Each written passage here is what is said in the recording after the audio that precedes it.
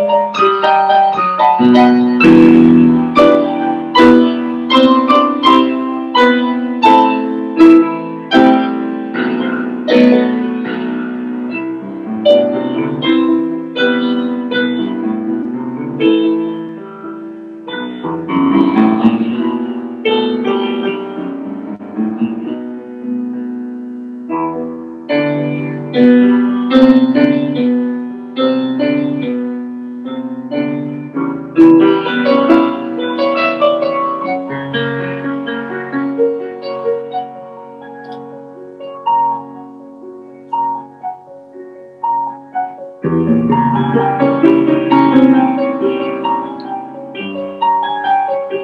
you.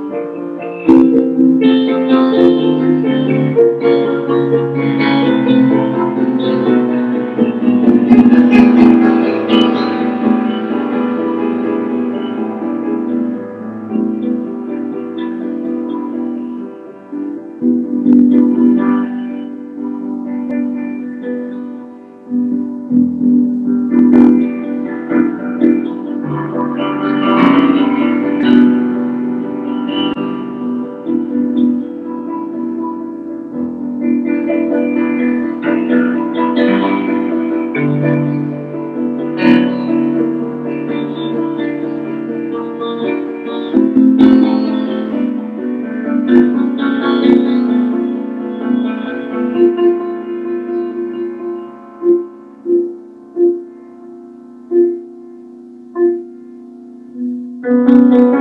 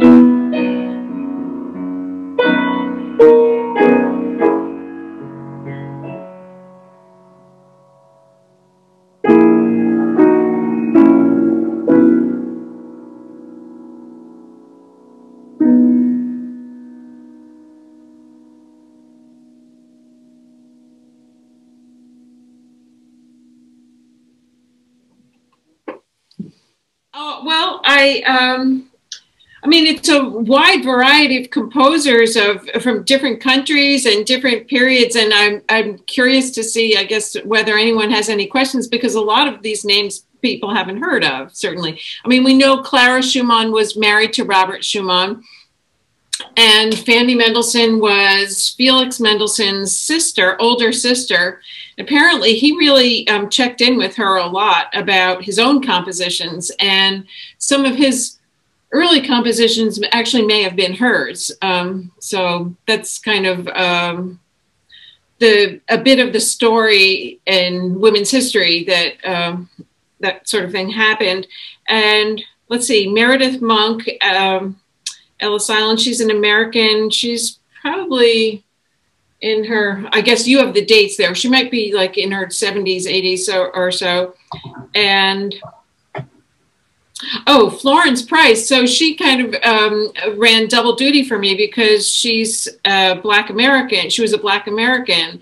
And so I was playing some of her music last month for Black History Month. And now here she is as a woman composer. So I'm delighted to share her beautiful music. I really feel like it comes out of the, um, especially that opening theme. It really feels like some kind of a you know, a hymn or a spiritual. Um, so I, I enjoyed that. And then her, her contrasting sections in that piece, the B section really feels like a touch of Chopin, and the C section really feels like a bit of Schumann. So it's um, interesting and, you know, a short piece of music to kind of have all these influences on her. Then Caroline Shaw, I don't know, you may have noticed that there was a Chopin mazurka in the middle of the piece. Um, so her piece was called Gustav is called Gustave Le Gray, who was And Gustave Le Gray was a photographer in the very, very, very, very early days of photography, like late 19th century. And so my feeling is that she uses her repeated notes as a distillation of Chopin's mazurka, which also starts with kind of repeated chords. So as a photographer, Gustave Le Gray probably he was working in dark rooms where an image slowly comes into existence and then can fade away with the chemicals. So that's my kind of interpretation of how that Chopin mazurka is in the middle of the piece, and then she uh, takes on some of the motives that Chopin used. Uh, Pia Müller Johansen is a Norwegian composer. I really like her music a lot. Um, it's very similar to many of you probably know Erik Satie's Gymnopédies. So this piece sounds kind of um, similar to that, and I like that style. And then, of course, we mentioned Maria Hester Park with Aton. Then we have Fanny and Sofia Gubaidulina. uh, my coach says that she's probably the best Russian composer post Shostakovich. So we don't hear her name very often, but um, so it's kind of fun to explore her music. And then lastly, S. Ethel Smyth. She has kind of an interesting backstory. She went on her father, who was, I think, uh, in the you know in the military, and an English composer. Um, so he was probably some kind of general or something. He really didn't want her to study music and to be a composer. And she went on a hunger strike and refused to speak and won her way and ended up at the Leipzig Conservatory. So I, I hope that that's not true of young women today that um, that they can somehow explore their passions and and not have to um, go to such drastic measures to convince those around them to that they really are serious about pursuing their goals. The other thing is that she was a um, she's also English and er, a suffragette, a suffragist, and wrote. Uh, I think she was in. Um, she's kind of a fighting kind of person because she also um, was in. Uh, I think she was imprisoned for a while for some of her protesting for women to get the vote, and wrote. Um, a piece called March of the Women. So it's the, not the most sophisticated piece of music, but um, I figured that it would be interesting to include her music and uh, get to know a little bit about her. Uh, so, especially during this month where we're focusing on this. so. Great. Well, thank you. Thank you. Okay. All right. Have a good night, everybody. Thanks. Okay, see you next time. Thanks.